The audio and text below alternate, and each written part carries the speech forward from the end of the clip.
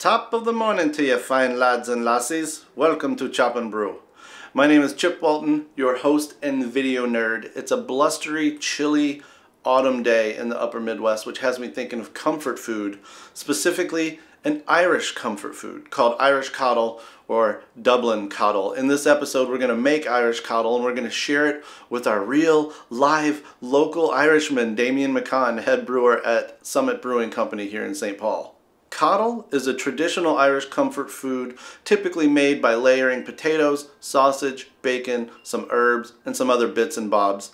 This past St. Patrick's Day, I made some Irish coddle to share with Damo over a pint at the brewery. We sat down to enjoy a plate of fodder, talk about this dish, and also a bit about St. Patrick's Day history in Ireland. Coddle is certainly not exclusive to St. Patrick's Day. Rather, this dish is a perfect one for fall or winter get-togethers, holiday parties, or even for a nice set it and forget it kind of meal on a weeknight or weekend. So I thought I'd put this episode out now that we're entering fall and winter. Looking forward to hearing from Chop and Brew fans who try this dish out. It's awesome to inspire and influence people into new uh, realms of cooking. Uh, also, if you have tips, techniques, or family recipe for coddle that we're completely missing here, share that in the comments under the video or on social media wherever fine Chop and Brew chatter is happening. Also, support Chop and Brew get you a beanie, get you a shirt, get you a cutting board. Help us out. It's going into the holidays here probably got a gift for the chopper or brewer in your life or maybe just something for yourself for being awesome. You can also subscribe or renew Brew Your Own magazine at the link on our website, and half of that cost comes back to support Chop and Brew. That also makes a nice holiday gift. So, without further ado, let's get the chitta chatta over with and get our coddle on. Chop for chop, brew for brew. Ah, drinking coffee.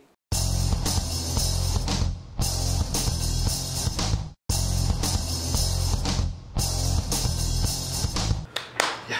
Is there a is there kind of a salute, uh, kind of something you say on St. Patrick's Day? Uh, well, Banach law Féle Padre, the blessings of uh, St. Patrick's Day to you. It is, of course, a, uh, a, national holiday back home in Ireland, but it's also a Christian holiday. So uh, everything will be closed today back home. Uh, no school for the kids. Uh, all businesses will be closed. The pubs will be open, of course. Uh, you, have to, you have to drown the shamrock somehow, I suppose. Uh, but but usually, uh, you know, you'd go to mass in the morning, and then it's a really it's a cultural holiday back home. It's uh, it's almost like a cross between um, Thanksgiving and the Fourth of July. So. Uh, mass in the morning. There's a bit of a parade afterwards. Uh, I grew up in the Irish countryside, so it was kind of a, a smaller affair with the, the parade, and then off to uh, usually the grandparents' house or, uh, or extended family, and kind of a family day. We watch the, nas- uh, the National Gaelic Football and Hurling Club Championships on the television, so it's a bit like Thanksgiving there, where you, you watch a bit of football and uh, have a nice lunch. And really, you don't you don't hit the town till later that night. Uh, you know, it's not quite the uh, excuse uh, for repressed Lutherans to get after uh, like it is over here. So it's, it's a slightly different affair back. You know us Yanks, we'll take any excuse. Well, to, yeah, that's exactly right. To do yeah, something yeah. non, take something traditionally based and turn it into a drunk fest. Sláinte, you're, you're good health. Happy St. Patrick's Day. Happy St. Patrick's Day. Well, we kind of already launched into it, but we're here in Damian McConn, Damo, head brewer of Summit Brewing. We're in his luxurious head brewer's It's office. quite the office with the beige walls. Yeah, Yeah. looks good, all right, and yeah. the high ceilings, which will be Yeah. a wonderful echo. It is currently St. Patrick's Day. That's It why is. you look sharp. I look as sharp as I get. You look very sharp. Thank you. Sharpish. Yeah, sharpish. Yeah, sharpish. And we're enjoying a plate of Irish coddle, or I saw it called Dublin coddle. Very traditional uh, dish for the east coast of Ireland, especially the Dublin area. Yeah. A couple of years ago when I started working with Damo, I was like, oh, we're gonna do a video. Uh, we want to do something traditional, corned beef, right? Yeah, not so much. Not nowadays, anyway. Yeah, tell us about the mis the Well, misinformation. well, we you know, Americans- there's there's there's been a tradition of exporting salted beef from from Ireland uh, that goes back to probably the Middle Ages, and uh, you know, it's such an important day, St. Patrick's Day back home, that uh, you know, having corned beef on such an important day, you know, at least in the last probably 100, 100 years or so, hasn't been the case. Um, when I was a lad, we would have maybe some nice spring lamb or some really good ham or something like that. Um, So we, you know, corned beef traditionally was salted beef uh, from cattle uh, that was produced in the fall, and then it would be consumed after Lent uh, ended, so kind of around Easter time. But uh, you know, really uh, for such an important day, you try and bring out you know the, the best ingredients, the best fodder you have available to you. And corned beef, well, it can be very good. Believe me, a lot of flavour to it. Um, at least in my experience back in, in uh, my childhood in Kildare, and my my uh, grand grandmothers and my ma would be uh, would be pretty shocked if we were bringing out salted beef on such an important day. So what would they make? They would often do a, a really nice leg of spring lamb, Okay. um, or some really really good uh, gammon or, or ham. That was kind of the traditional dish I remember as all that. Certainly cabbage. I mean, but, but you know the Irish have cabbage with with almost every Sunday roast, and and the spuds are always going to be the ubiquitous spud would be included with almost every dish. Um, but I just remember it was really really good lamb or, or a nice baked ham or something like that. But at the time, you pointed me to Irish coddle. So I've made it once before. It turned out really good. Want to make it again? And actually, I've Well, Daniel it's- tasted it's, this. time. uh, it didn't last long last time. Well, coddle is really this traditional, very traditional Dublin comfort food. I grew up in Kildare, which is not too far from Dublin, so didn't have a huge amount of it when I was a lad, but uh, because we were out in the country as opposed to living in the city, but we were still fairly uh, familiar with it. You go to Dublin, you get into the back of a cab, and you talk to the taxi driver who'll give you an idea of what his his ma's coddle recipe might be, but for every you know, you can go to a go to a dozen cab drivers and get thirteen different ideas of what constitutes Dublin coddle. You know, for me, the, the key was always spuds, uh, onions, uh, sausages, and then um, some recipes would have a bit of uh, would have rashers in there, or maybe some carrots. Rashers for Rashers the, of bacon, yeah, For the yeah, American. yeah, exactly, yeah, back bacon. So essentially, the eye of the of the the bacon plus the what we call the streaky part, um, what you'd refer to as just regular bacon over here. So this is probably not the most dialed in, but I we diced or we sliced potatoes fairly thick. We sliced onion. We pre-cooked, as a couple of recipes suggested. We pre-browned the sausage. It's supposed to be pork sausage. We used brats because we're in the upper Midwest. Someone's here. Someone smell the cattle. Come in. Come in if you have beer. Hello. All right. They obviously don't have beer with them, Okay. so they can't come in. So pork sausage, uh, I went brats. You clearly said there would have been better options to be a little more authentic. And then the bacon, pre-browned but not crispy. Then the idea is you you're layering them. It's kind of like building a hot dish or a casserole. A wee bit, yeah, a wee bit like a casserole. I, the recipes I've seen always had the ingredients sliced. So the spuds would be sliced fairly thinly. The carrots would be fairly large diameter carrots, but sliced thinly, and then sliced onions. Um, some recipes don't seem to call for the bacon for the rashers. Some call for just adding the sausages um, in their raw state, not browning them beforehand. I like to brown them a wee bit. I think it adds a bit more flavor, but you know. So that, like you said, that goes into the cab driver's dozen. There's just so many different ways. I left the carrots out because the Irish Countrywoman Association said so, and I figured they know what they're talking about. But I love this, and you also suggested so you could use just regular water. The thing is, you're basically stacking this in a casserole dish, or in our case, a Dutch oven. It needs liquid. It has to. It's essentially. It's not really steaming or boiling, but a little bit of both. Um, and we went with a chicken broth mixture, and then I used cider, which was a homemade hard cider out of secondary, just straight up used the wine thief, so it wasn't carbonated, but it's still as day, crystal clear, uh, pretty dry and tart.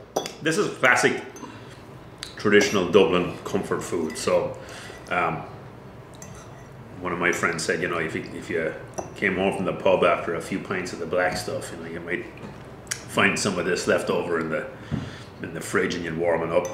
I suppose it's uh, you know takes care of the munchies you might have after a night in the town, you know.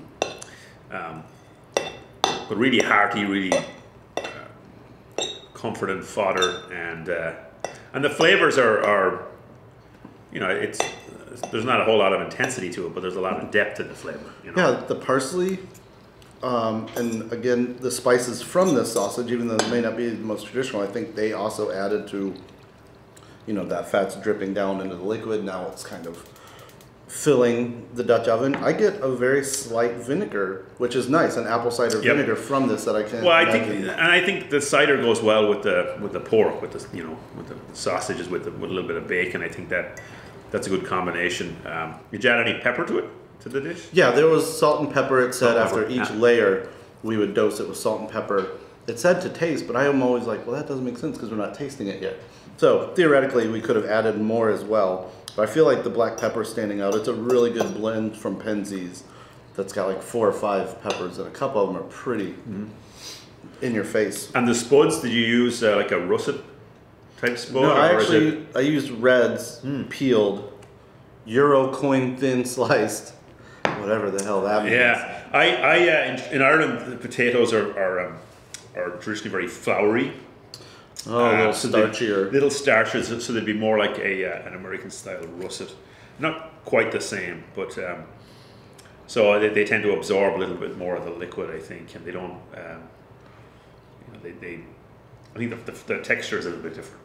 It was oven Uh, baked. but red red red spuds would probably hold up a little bit better in terms of not falling apart. Well, that's the thing. We checked it an hour before the end, and it was still a very dry-looking dish.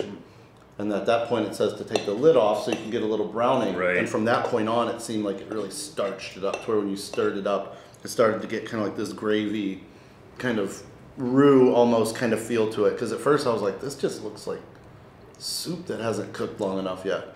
So yeah, it broke down, great. but it makes sense that if you if a more starchy potato, a more vulnerable potato. That's right, yeah. Yeah, the Irish are more vulnerable, right. That's a new kids book for the wee ones, right? The vulnerable potato. Overall, what do you think? Mm-hmm. I think it's great. I like the the blend of flavors is very very good. Nothing overpowers anything else in there. Um, good overall depth of flavor. I think the, the cider complements the Yeah. the uh, the rashers and the, the sausages really well. It was very nicely with this uh, glass of Summit Great Northern Northern Porter. So um, I think overall it's a, a fine effort. I think uh, the man back in, be, in Kildare would be proud of you, big lad. Well, I'm glad that you had a we had some kind of non-yank um, take on. Yeah, this, this is probably a bit more obscure for St. Patrick's Day in the United States, so it's kind of nice to. I love it though. This would be a good winter, like you said. Basically, any time, especially if you're kind of in fix it and go or fix set it and forget it kind of mode. You could probably do it in slow cooker, but this I could definitely see being a winter staple. Very easy, you know, if you're doing stuff around the house, you only have to check on it basically twice. Once to take the lid off and once to figure out if it's done. Sausages are kind of the main thing you want to make sure they're done. Our one time we checked, they're still pretty pink, but I also know that when you roast or kind of steam stuff, they don't always lose the pinkness, even when they're done. Like meat will kind of keep that. And, I, and I've read. I read one recipe um, actually from Darina Allen, who's a noted um, chef back in Ireland, and she was trying to develop a recipe for coddle. And uh, in that recipe, the sausages were just added straight in without browning beforehand. And even though they were fully cooked at the end of the dish, they, like you said, they, they had this kind of slightly pinkish hue, Okay. from what she wrote, and they looked almost as if they weren't, but they were. They were completely cooked through, but different flavors. But you know, that's that's a different approach, I suppose. I like the browning effect because just like in brewing, where you get caramelization and, and uh, flavor development when you you know brown malts or crystallize your pale malts, you're going to get some additional flavor development when you when you brown those those sausages. I always like to use a cast iron pan, you know, for the sausages. You get a bit more flavor through there. Yep. That's what we did. Um, well, yeah, man. I don't know. Happy. We got a we got a beer. Oh, I think I hear the bagpipers. Well, yeah, the pipers are here. so, Literally, um, the pipes and drums are in the house. Everyone needs to get their earplugs and uh, grab a few jars and go from there. So, Man, thanks a lot, Amo. thank you very Happy much. That was great. As you can see, no problem clearing the plate. No, man. So, happy St. Patrick's Day, everyone.